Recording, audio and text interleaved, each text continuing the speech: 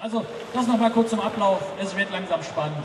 Gleich geht's los und dann sehen wir, wer kraxelt. Das war ja mal ein anderes Event an der größten Großschanze der Welt. Auf der Mühlenkopfschanze in Willingen wurde am vergangenen Sonntag nicht gesprungen, sondern gekraxelt. Und es ging nicht bergab, sondern bergauf. Der erste Willinger Kraxler wurde veranstaltet vom Skiclub Willingen und einer Brauerei. Die zu bewältigende Strecke ist zwar nur 400 Meter lang, aber mit einem Höhenunterschied von 156 Metern und 35 Grad Steigung an der steilsten Stelle eine heftige Herausforderung.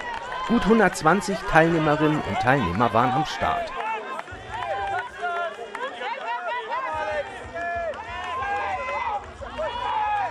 Und ein paar hundert Zuschauerinnen und Zuschauer feuerten sie an.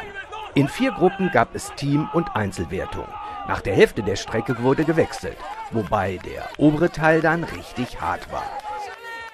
Die Zuschauerinnen und Zuschauer sahen Kampf um jeden Meter bis über die körperlichen Grenzen.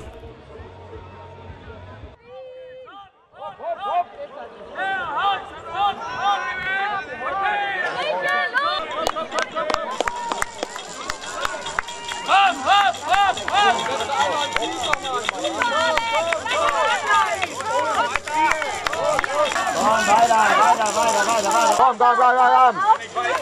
Letzte 200 Meter, komm, letzte 200, komm. Hopp, hopp, hopp. Komm, Lager, komm. 100 Meter hast du noch. Das wir noch. Auf geht's, hopp, hopp,